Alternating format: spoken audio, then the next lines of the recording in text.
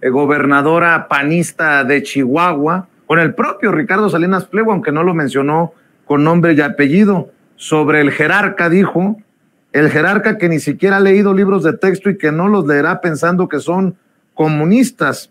Esta persona que no mencionó por nombre y apellido, pero que es un jerarca de la iglesia que dice que no ha leído ni va a leer los libros de texto. Ah, este es en referencia a un personaje de la alta jerarquía católica.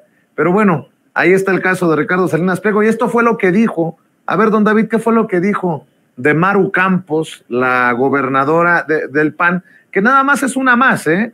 Porque ya hay un grupito de gobernadores que le quieren poner una zancadilla a los libros de texto gratuitos comunistas, eh, como dice Ricardo Salinas Pliego. Acaba de dar a conocer un ministro de la Corte de que no se pueden distribuir los libros de texto en Chihuahua.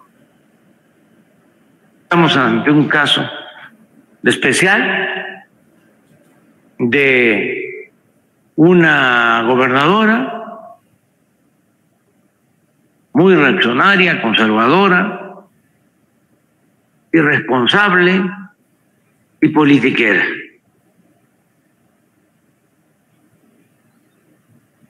Se presenta una controversia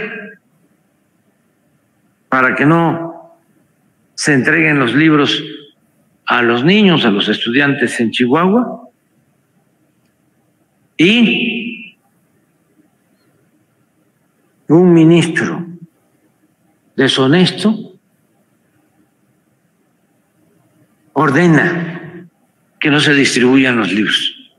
Uy, mi querida Laura, mi querida Lina, ojalá que se cumpla esto que pide el presidente de que eh, se revisen las facultades del INE y del Tribunal Electoral del Poder Judicial de la Federación para que no se invada facultades, porque al paso que vamos también lo van a eh, denunciar por violencia política en razón de género desde Chihuahua, etcétera, etcétera, etcétera.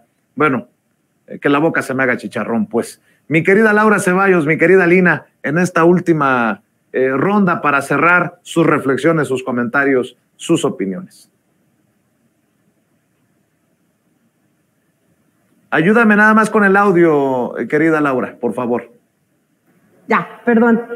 Volviendo al mismo tema, a ver, los códigos penales, por ejemplo, dicen, comete el delito de robo quien sustrae la propiedad de otro sin su consentimiento. Comete el delito de lo que tú me digas, no dice, comete el delito de, no sé, fraude, el hombre que y excluye a la mujer. Cuando el presidente hace una declaración como esta, no tiene absolutamente nada que ver con el género.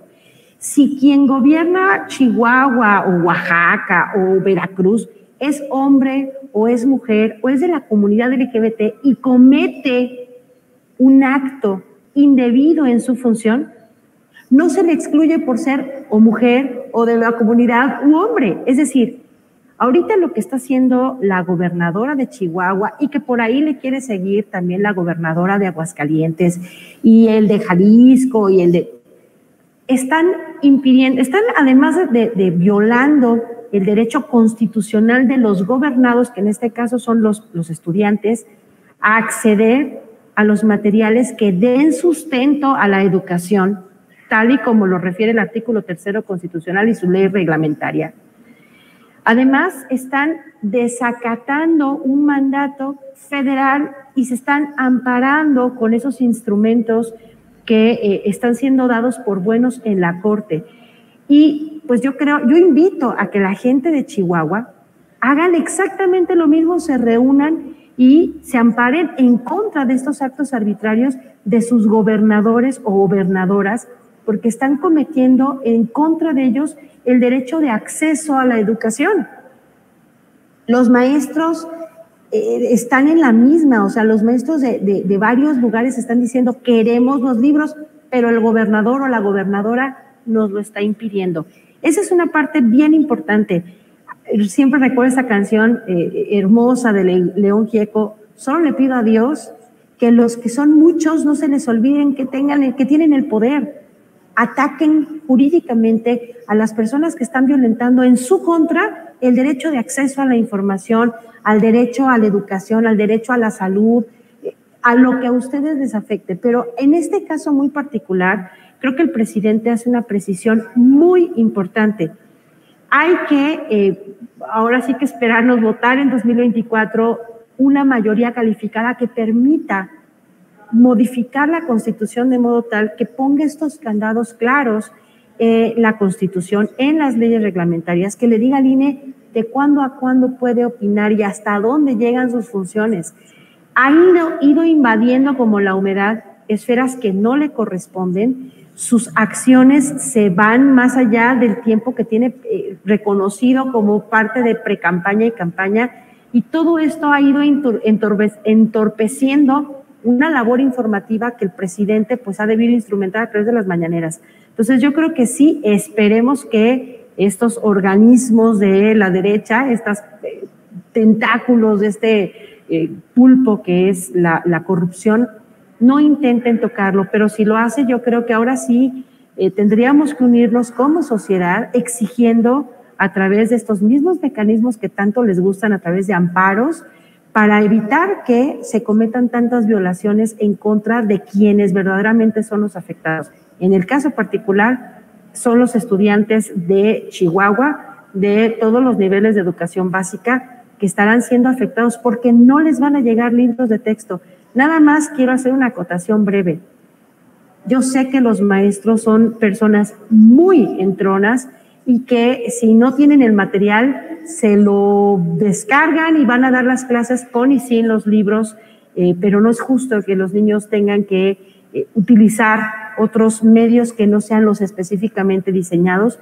Y además pues hay que darle un voto de, de confianza a esta nueva escuela mexicana que trae a mucha gente trabajando de manera ardua, no de ayer ni para este ciclo escolar, todo lo que va del sexenio para dar eh, una educación de calidad acorde a los tiempos modernos que vivimos. Así que maestros de Chihuahua, de Aguascalientes y de los lugares en donde sus gobernadores no quieren entregar los libros, creo que tienen derecho también de ampararse y siendo respaldados por la sociedad de papás, mamás, abuelitas, la familia que esté encargada de la educación, y pues ahora sí que abogados hagan trabajo ahí altruista, pro bono, para ayudar a tramitar estos amparos, porque no es justo que le roben también eso a la población. Y luego se quejen, ¿no? Es que el gobierno federal no quiere y engañen de manera tan artera. Entonces, tarea para todos, papás, maestros, descarguen los libros, háganlos, pues ahora sí que eh, extensivos en la comunidad